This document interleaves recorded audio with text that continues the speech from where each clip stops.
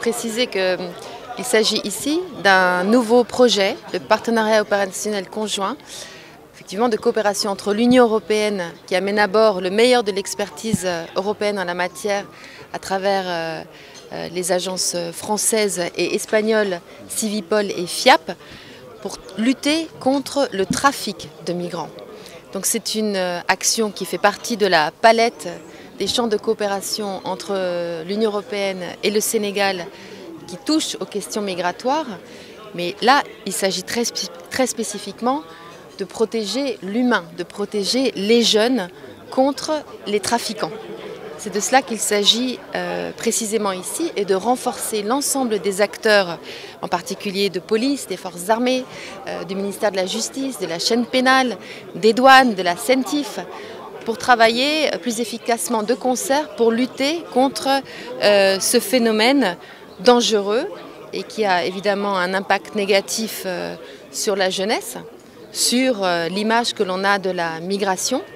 Euh, et sur euh, finalement aussi euh, la, sécurité des personnes. Donc, tel est l'objectif de notre programme aujourd'hui, qui a d'ailleurs été demandé par le Sénégal comme l'un des pans de sa coopération dans le domaine de la sécurité, qui se développe beaucoup avec l'Union européenne. il faut d'abord en fait mentionner que c'est un projet qui a été créé sur une demande sénégalaise c'est la direction de la police de l'air et des frontières qui en a exprimé la demande au nom de la police nationale. On a eu l'accord en fait de l'Union européenne et euh, donc euh, une fois que le projet a été accordé avec les financements et tout, euh, l'autorité sénégalaise a décidé de l'étendre aux autres ministères qui participent directement ou indirectement à la lutte contre le trafic de migrants. Donc, en fait, voilà la, la, jeunesse du projet.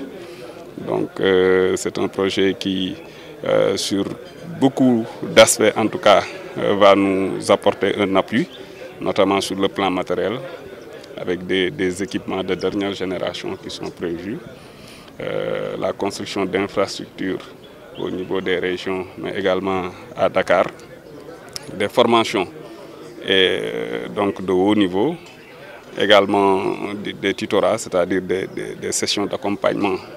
Et bien sûr, cela complète une palette euh, d'instruments beaucoup plus vaste euh, qui touche au phénomène migratoire, qui, il faut le souligner, est aussi un phénomène très positif.